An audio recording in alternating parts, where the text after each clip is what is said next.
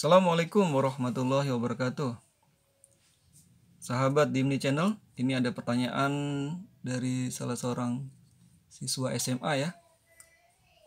Anaknya temanku. Oke, ini juga mungkin bisa bermanfaat buat eh, anak-anak yang lain yang sedang belajar tentang fungsi linier ya. Oke, ada pertanyaan seperti ini katanya. Nilai maksimum. Nilai maksimum fungsi. Fungsi tujuan. Tujuan f x, y sama dengan 3x plus 4y ini fungsi tujuannya. Di daerah yang diarsir. Di daerah yang diarsir. Yang diarsir. Ini ada gambarnya. Oke kita lihat gambarnya. Oke gambar kartesiusnya oke. Ini ada oke. Ini y ini x. Ini dua ini satu. Oke ini satu ini berapa nih? Tiga ya? Ini satu ini tiga tiga ini satu. Daerah akhirnya ini. Oke ini nol. Oke. Untuk menentukan nilai maksimum ini adalah kita pertama kita buat persamaan ya. Oke cara termudah adalah seperti ini ya. Persamaan ini ya persamaan A ya. Persamaan ini persamaan B. Bagaimana membuat persamaan A?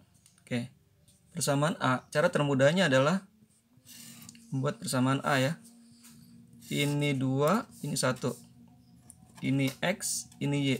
Nah tinggal kita kalikan 2 ke x. Maka menjadi 2x 1 ke y. Nah, kita silah saja. Ditambah 1 y ya. Atau y aja ya.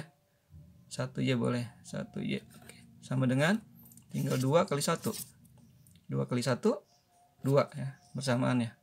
Ini persamaan pertama. Oke persamaan pertama. Geser oke persamaan pertama ya.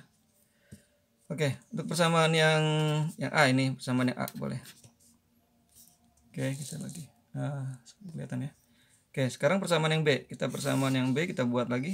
Sama persis seperti tadi ya. Ini satu ini tiga ya.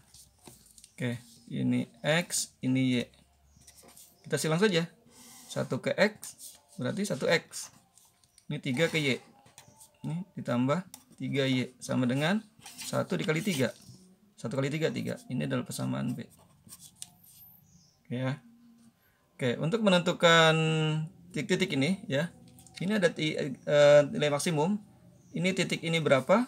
Ini kini udah ketahuan ya. Kalau ini pasti berapa koordinatnya ketahuan ya. Ini adalah berarti x nya 0 y nya 1 oke kita dapat. Titik ini kita dapat ya. Ini titiknya adalah 1,0 ini 0,0 yang ini 0,0 nah sementara ini berapa gitu kan? Nilai maksimum apakah di sini? Apakah di sini? Apakah di sini? Atau mungkin di sini? Nah kita cari ya. Oke, oke untuk menentukan titik potong ya. Untuk menentukan titik potong. Oke saya geser ya. Untuk menentukan titik potong. Untuk menentukan titik potongnya. Potong A dan B ya titik potong A dan B. Oke kita satukan. 2X ditambah Y ya satunya nggak usah tulis ya sama dengan 2 yang B nya X ditambah 3Y sama dengan 3 oke. Oke kita eliminasi ya. Kita menjadi ini 2X ini 1X kita samakan ya. Berarti kalau gitu ini kita kali satu ini kali dua. Oke kalau kali satu jadi berapa yang ini? Oke 2x ini kali dua satu ini kali satu ini kali satu ya. Sehingga ditambah y sama dengan 2 sementara yang ini kali 2 2 kali x 2x ini 2 kali 3 tambah 6y sama dengan 2 kali 3 sama dengan 6 oke kita eliminasi kita kurangi saja supaya hilang. 2x dikurangi 2x habis ya 1 dikurangi 6 bagus. Min 5y sama dengan 2 dikurangi 6 min 4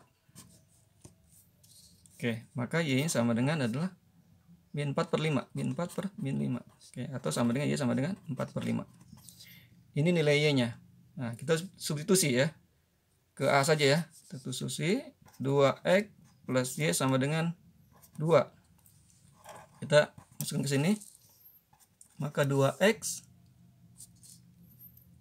ditambah 4 per 5 ya. Y nya kita ganti dengan 4 per 5 sama dengan 2 oke supaya lebih mudah ya. Ada pecahan penyebutnya 5 kita kali aja dengan 5 semuanya. Lebih mudah seperti itu ya. Oke. Maka ini jadi berapa? 5 kali 2x 10x ditambah 5 kali 4 dibagi 5 4 ya. 5 kali 2 10 maka 10x sama dengan 10 min 4 ya. Harus ke sana. Oke jadi minus. Maka 10x sama dengan 6 x sama dengan 6 per 10 oke berarti titik potongnya adalah x nya 6 per 10 y nya 4 per 5 oke jadi titik potong ini adalah titik potong ini adalah potongnya atau ini kita sederhanakan menjadi berapa nih? Kita sederhanakan menjadi Oke, dibagi dua ya. 3 per 5. 3 per 5, oke. Berarti koordinatnya adalah 3 per 5, 4 per 5.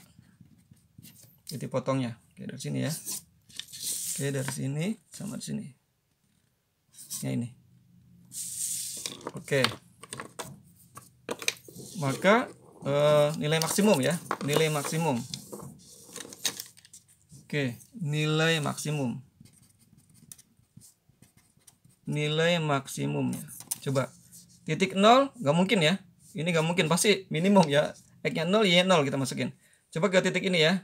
Kita ambil ini, coba coba titiknya 1,0 kita masukin ya ke tujuan ke fx ya fx, y sama dengan 3x plus 4y coba kita masukin ya x nya 1 ya 3 kali 1 ditambah 4 kali 0 berapa nih jadi 3 ditambah 0 sama dengan 3. Oke, apakah ini maksimum? Kita cek ya. Oke, sekarang yang ini 0,1. Coba 0,1 kita masukkan. Ya. f x-nya 0, y-nya 1. Coba kita masukkan ya. Maka 3 kali 0 ditambah 4 kali 1. 0 ditambah 4 sama dengan 4. Apakah 4 maksimum? 3 sudah nggak maksimum lagi. Oke, berarti 3 udah nggak maksimum ya. Salah ya. Kemungkinan 4. Titik yang ketiga, apakah maksimum? Yang ini. Oke, yang ini ya. Oke. Coba kita kita tes ya. Oke, eh, 3,5 eh 3 per 5 sama 4 per 5. Oke, kita masukin. Berarti F X-nya 3 per 5, Y-nya 4 per 5. Masukin ke fungsi tujuan. Berarti 3 dalam kurung X-nya 3 per 5, ditambah 4 Y nya 4 per 5 3 kali 3 9 per 5 ditambah 4 kali 4 kali 4 16 per 5 Oke 9 tambah 2 16 25 per 5 sama dengan 5 Nah sekarang Oke mana nih? 4 dengan 5 mana yang lebih maksimum? 4 enggak berarti maksimum adalah 5 Oke, sehingga adalah nilai maksimum ini ya adalah 5. Nilainya adalah 5. Oke. Demikian jawabannya adalah maka nilai maksimum adalah jawabannya adalah jawabannya adalah 5. Oke, mudah-mudahan bermanfaat ya. E, terima kasih. Silakan share, like dan subscribe. Wassalamualaikum warahmatullahi wabarakatuh. Bye bye.